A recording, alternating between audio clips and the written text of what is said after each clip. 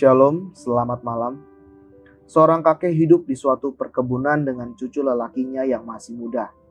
Setiap pagi kakek bangun lebih awal dan membaca Alkitab di meja makan. Suatu hari sang cucu bertanya, "Kek, aku mencoba untuk membaca Alkitab seperti yang kakek lakukan, tetapi aku tidak memahaminya.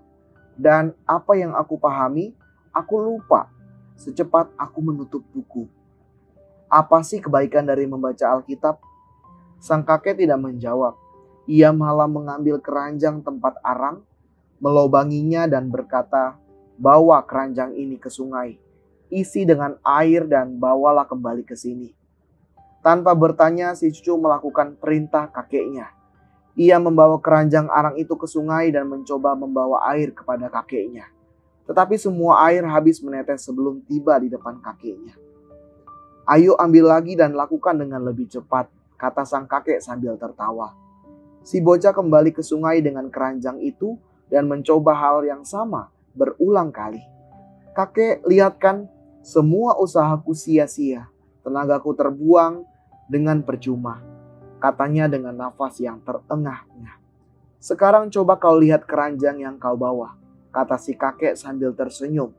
Bocah itu melihat keranjangnya Kini ia menyadari bahwa keranjang itu telah berubah dari kotor menjadi lebih bersih, baik di bagian luar maupun dalam.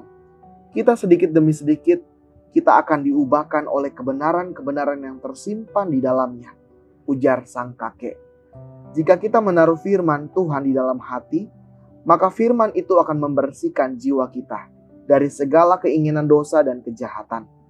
Jika kita sudah membaca firman, maka apa yang kita baca itu terekam di dalam ingatan kita. Dan ketika kita berhadapan dengan satu masalah, maka Roh Kudus akan mengingatkan firman itu kembali, dan itulah yang akan menguatkan kembali iman dan pengharapan kita.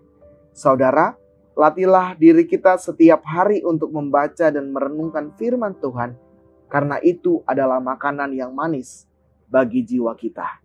Saya Pendeta Philip Marcelona Leander dalam Senandika Gembala GKO.